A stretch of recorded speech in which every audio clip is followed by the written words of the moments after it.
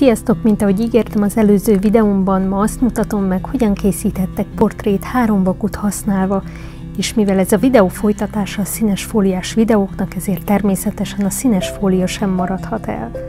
Az arc ebben a videóban ismét fehér fényjel lesz megvilágítva, mint ahogy itt az alapképen láthatjátok, ám a háttérben két színt fogunk használni. Amire szükségetek lesz, az három vakú, két vakun színes fólia, és a főfényünkre nem helyezünk fel fóliát, azaz sima fehér fényt fogunk használni. Én ismét a magmot termékeket fogom használni, még hozzá a komplementer színeket választottam, a kéket és a sárgát. A színkerékről készítettem egy rövidke videót, a jobb felső sarokban a linkre kattintva megtekinthetitek. Mivel a kék színt egymagában nem találtam elég erősnek az ízlésemnek, ezért ezt a két filtert helyeztem egymásra. Azt akartam, hogy a kék legyen a domináns szín, és a sárga pedig csak egy kis boostot adjon a képnek. A harmadik vakumra egy reflektort helyeztem, illetve egy rácsot, hogy irányítani tudjam a fény útját. A fényképezőgépemre a 24-105-ös objektívet helyeztem fel, mivel a hely szűkös, ha kell, tudok szélesebb látószöggel fotózni. És itt pedig láthatjátok, milyen beállításokkal dolgoztam ezen a fotózáson. Elmondanám, hogy ezt a beállítást többféleképpen is meg lehet oldani, ez csak egy verzió, egy alapbeállítás, ám rengeteg variáció lehetséges.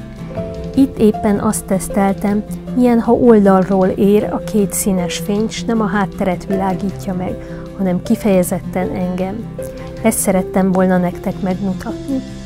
Hozzátenném, hogy mivel én kis fényforrásokkal dolgozom, mint láthatjátok, ezért viszonylag kis részt világít be a vaku. Ám ha egy nagy stripboxot képzeltek el a helyére, akkor sokkal, de sokkal szebb eredményt tudtok majd elérni. Mivel én egy mozgó stúdió vagyok, azaz viszem magammal a fotózásra a stúdiót, ezért én ehhez mérten vásároltam, ami kell. Nekem a lényeg, hogy kis helyen elférjen, és tudjak vele mozogni viszonylag könnyedén. Ráadásul, mint látjátok, fényes nappal fotóztam, a színek nem annyira lesznek ilyenkor saturáltak, mint például, ha a hátterem fekete lenne, vagy sötétben fotóznék. Ám az elv ugyanaz. Tehát amikor csak a kék vakut használtam, ez lett az eredménye.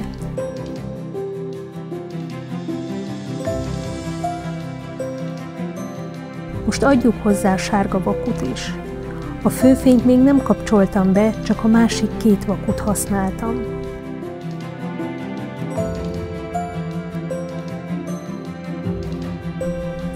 Íme az eredmény. Szerintem a sárga egy kicsit erősebbre volt állítva, ezért sokkal fényesebbnek tűnik. Ilyenkor készítsetek pár tesztfotót, mi az, ami nektek tetszik. Majd eljött annak az ideje, hogy bekapcsoljam a főfényt, és egy kis fehér fény is éri az arcomat.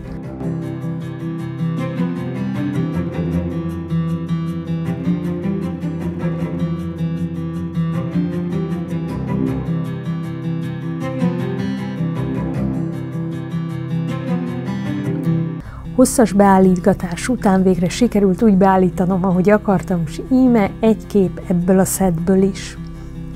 Mint említettem volt, ha messzebb álltam volna a faltól, akkor még sötétebb a háttér, illetve ha nem fényes nappal készítem a képet, szintén élénkebbek lennének a színek. Ám így is láthatjátok, hogy ad egy érdekes világot a képnek az, hogy több szín is szerepet játszik a fotón. Ezután pedig a falra irányítottam a két színt. Mint mondottam, a kéket szántam főszínnek, a sárgát pedig csak, hogy épp jelen legyen. A sárga vakut feljebb állítottam, mint a kéket, egy kisé, lefele, majd egy lépést előre léptem a főfényem felé, mivel azt nem mozdítottam el az előző beállításhoz képest. Így a színes fényeknek max a pereme fog érni, és főleg a falat fogja bevilágítani. Miután a kívánt beállítás megvolt, jöhetett a modell. Na jó, legalább felsőt cseréltem.